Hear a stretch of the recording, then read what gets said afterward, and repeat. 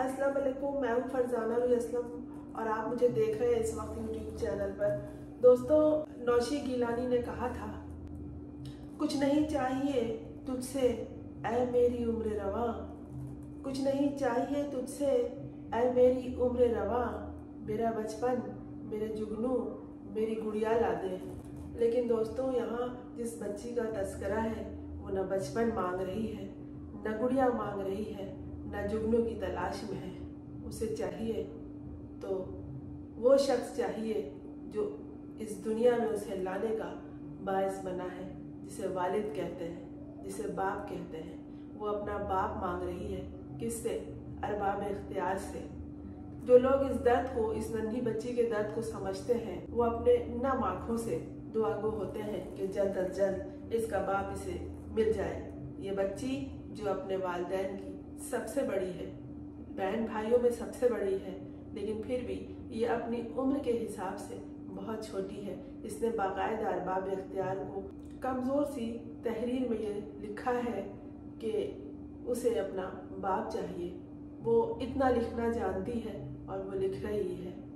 ये बच्ची कमसिनी में भी इस बात को समझ रही है कि तहरीर की भी कोई अहमियत होती है। इसलिए वो एक ख़त तहरीर कर रही है अरबाब इख्तियार को तवज्जो दिलाने के लिए कि उसे अपना लापता बाप चाहिए, इसलिए कि हर शाम वो अपने बाप को, हर रात वो अपने बाप को घर में दाखिल होता हुआ देखती थी और हर सुबह वो घर से निकलता हुआ देखती थी। सारा दिन वो अपने बाप को मीडिया पर बोलते हुए, गुफ्तगु करते हुए देखती रहती थी। मगर अब वो इससे महरूम हो गई है या महरूम कर दी गई है?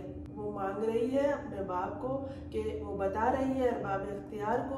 उसका छोटा भाई जिद कर रहा है कि मैं उस वक्त तक खाना नहीं खाऊँगा जब तक कि उसके वालिद उसके सामने ना आ जाए। ईद आने वाली है, वो बच्चा ये आरज़ू रखता है। गुज्त बरसों की तरह वो अपने वालिद के साथ कुर्बानी के लिए जानवर खरीदने जाएगा। बच्चों को ये शौक किस कदर होता है, किस किस तरह वो पूरे साल अपने दिलों में ये शौक पालते हैं? ईद आने वाली है और ये बच्ची परेशान है कि उसका छोटा भाई किस तरह अपनी आरज़ू पूरा कर पाएगा। उसे पता है कि उसके बाप को दुनिया वालों ने उसकी नज़रों से दूर किया है। उसके बाप को लापता लोगों की फहरिस्त में शामिल किया है। उन लोगों ने जिनका वो नाम लेकर मुखातिब कर रही है अपने खत में, जो एक खुला खत उसने तहरीर किया है। इस खत को लिखे हुए कई दिन हो गए खुद को एक बच्चा समझ के, उस बच्ची के मसले को अपना मसला समझ के, उस बच्ची के बाप की गुमशुदगी को अपना बाप समझकर अगर गौर करें तो फिर क्या बीतती है, क्या गुजरती है, ये उनसे पूछें जिनके बाप लापता है।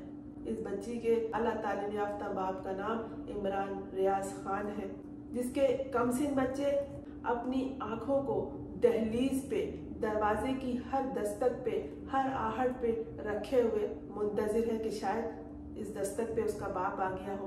बाहर गाड़ी की आवाज़ आई है, शायद उसका बाप आ गया हो।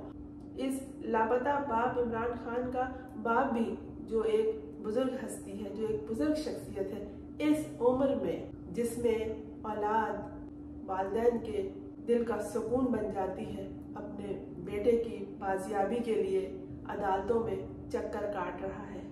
नातावा शख्स अपनी सारी ज़िंदगी की कमाई को यूँ लुटता हुआ देख रहा है, खुदा न खास्ता तो वो परेशान है।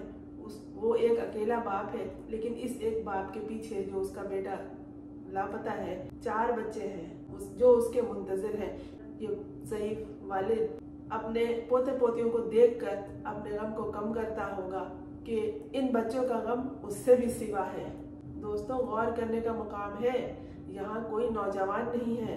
यहाँ छोटे नन्हे मासूम बच्चे और उन बच्चों का एक बूढ़ा दादा और इस दादा का एक नौजवान बेटा गायब है। ये छोटे बच्चों और एक बुज़ुर्ग का, नन्हे बच्चों और एक बुज़ुर्ग का दुख है। ये दर्द बहुत सिवा है। ये मांग रही है अपने बाप को।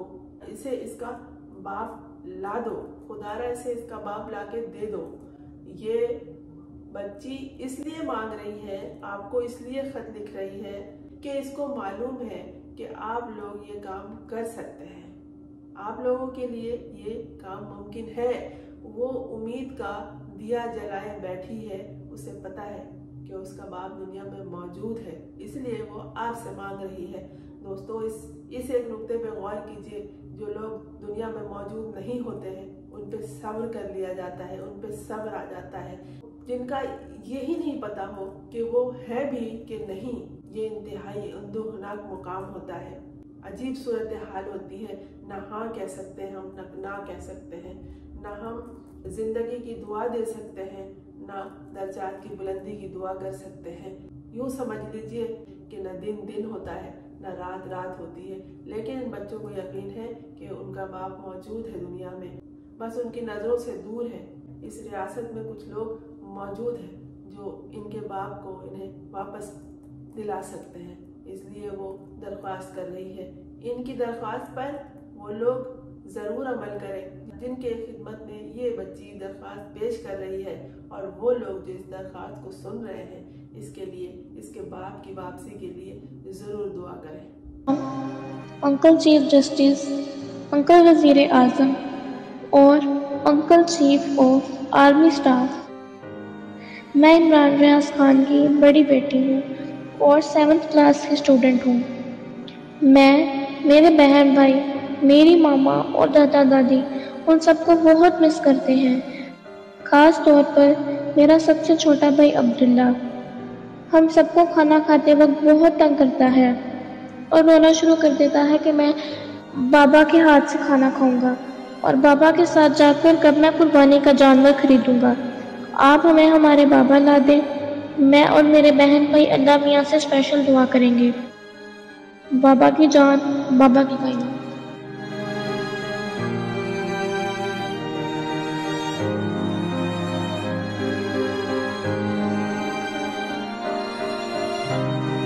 बच्चों के लिए उनके वालदेन ही सब कुछ होते हैं। वो इन्हीं रिश्तों के ज़रिए तमाम ताल्लुकात को, चाहे वो खुदा का हो, चाहे वो माँ का हो, चाहे वो बाप का हो, समझते हैं। अगर बीच में आप जैसे अरबाब इख्तियार और आप जैसे बासर शख्सियात आ जाए तो फिर ये कोई अच्छी बात नहीं होती।